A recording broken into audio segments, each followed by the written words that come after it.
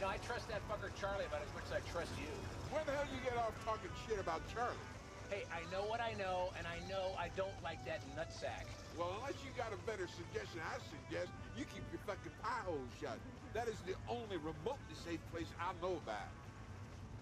Uh, hey man, if anyone's interested, I think I'm gonna be wanting some ice cream in about 10 miles.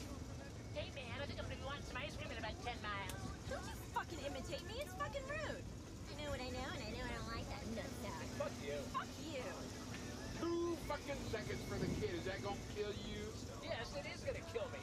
I have calculated the time, and two seconds is the exact amount of time that's a hazard to my fucking health. Come on, don't be such a fucking drag, I'm starving. Hey, eat this. What is your fucking problem? I'm in and out in two seconds. You know, I think I'm gonna get me some tutti fucking fruity. Tutti fucking fruity, that sounds good.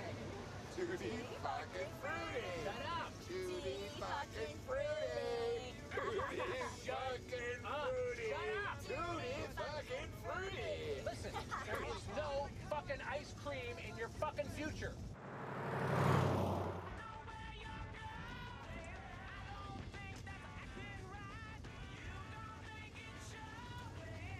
Mmm. Delicious. I don't know why you have to be such a grouch. This is really good. Here, have some.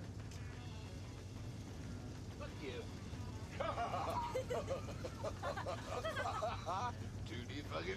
Fruity.